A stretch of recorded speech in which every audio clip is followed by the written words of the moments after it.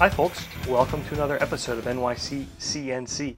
What are we doing today? Do you remember the video from earlier this year on that brass coin? That was actually a video that the company Tools Today uh, hired us to make, and that's what we're going to do today is another video for them. That video was really cool because of the up close detail of that little brass coin. It was really cool. Today, we're going to machine some 4140. It sort of looks like a gas cap, but it's a logoed part for them. And I think the takeaways are really in the HSM cam side. We'll throw in some machining footage as well. But uh, Tools Today is a great company. We've actually done a number of videos for them showing off their tools. Their little sales pitch is really good customer service, really fast shipping, high quality tools, you know, really big selection. They ship worldwide. Uh, but that's not the point. The point is let's learn some, I think, some pretty cool HSM tricks that will also be applicable uh, for Fusion. So let's dive in. Even though this isn't a job shop job in the sense that the final product isn't a batch of machined parts per se, it is a great example. So here we've got our model in SolidWorks and let me know if you guys are interested. One of the things I thought about doing was redoing this video for Fusion 360 as well. The cam will actually be pretty similar because Fusion 360 uses HSM cam, but it's a really easy to make parts like this that look sort of complicated. The customer was fine with the part being 2.95 inches. So the first thing we're going to do is a 2D contour to clean up the outside of that 4140 raw material. We're going to run that with this part number 51464. It is a quarter inch three flute carbide coated end mill that you can see uh, photo rendering of uh, Actually, I think that was our old job right there. It's kind of cool. Uh, right there.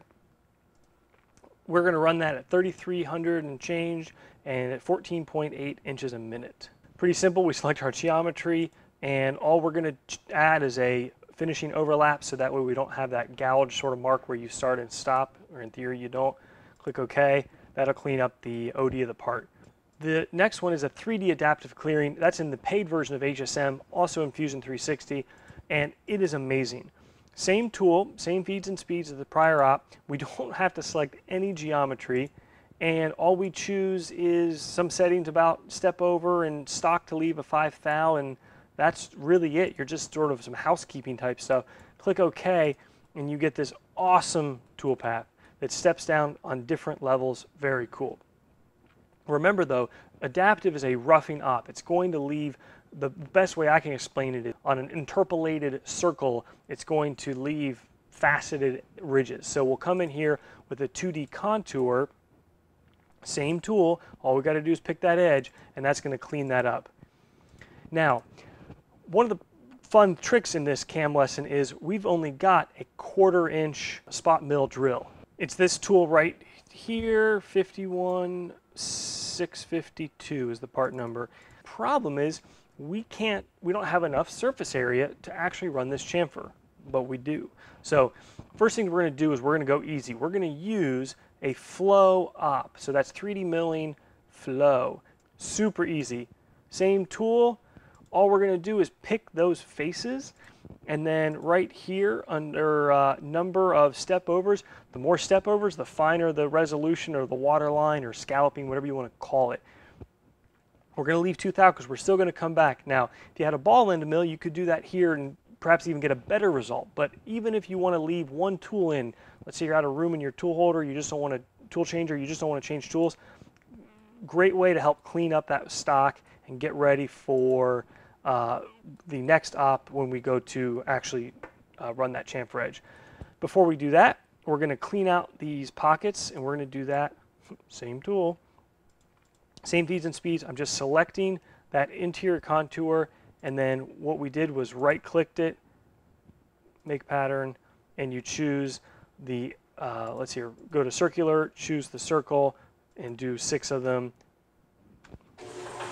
It's that easy. Now for that chamfer, I don't really want to run it all the way around because we're going to go relatively slow. So let's do this. All we've got to do is create that little segment there. Super easy. Let's just do it real quick. Go back to sketch. We'll sketch a circle on this plane and choose circle. Go find the center. And it'll snap to like so. And then we'll just go to the line tool. Actually, I'll start from the center. Click there, double click to keep the tool active. Click whoop, here and go back to, zoom in so you don't get the wrong one, like so, and then trim the excess. Trim. Oh, now that's awesome. We did that, looks like we did it wrong. So click OK. Exit sketch. Is it, it's this, oh, that's what happened, hold on. Okay, so that sketch looks like it's on the wrong plane. Don't worry about it. Edit sketch plane, move it back up to here where we wanted it to be. I must have goofed. And let's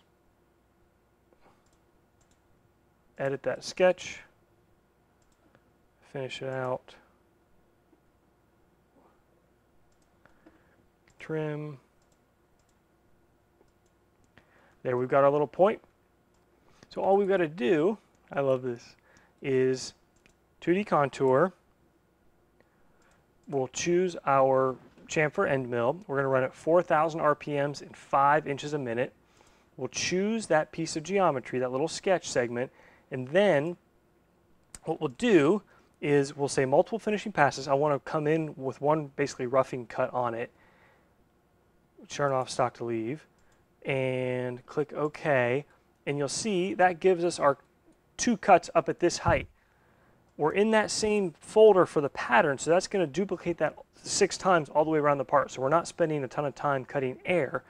And then all I do is hit Control D and I duplicate that here and choose chamfer offset of 0.2 inches and it moves it down along the chamfer. We do that yet again here and we're cutting that chamfer in three depth of cut passes. How cool is that, right?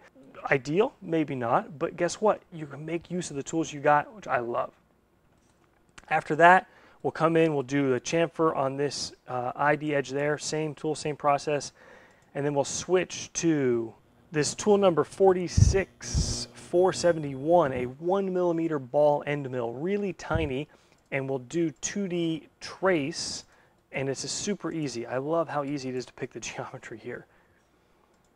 We can actually clear it out. I'll just show you. It's so easy. We're going to trace the boxes and the characters, which you can do by just clicking in here. Look at that. All this is redone with just these few clicks. Yep.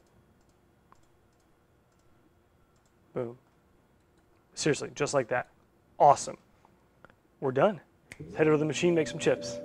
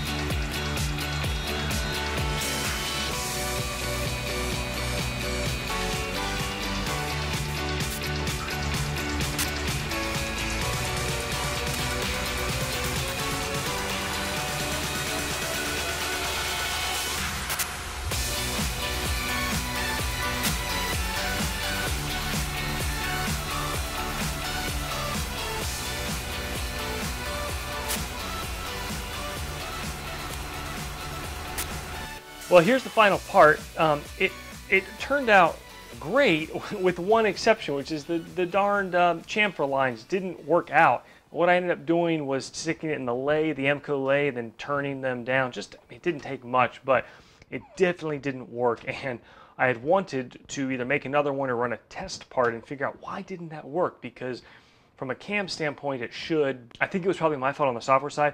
Unfortunately with the move now happening uh, I didn't have a chance to do that and I will just have to do that when I get back. But I, I do think that's possible. I do think it's a really helpful thing to be able to cut bigger chamfers than the um, actual geometry or the real estate you've got on the edge of that tool.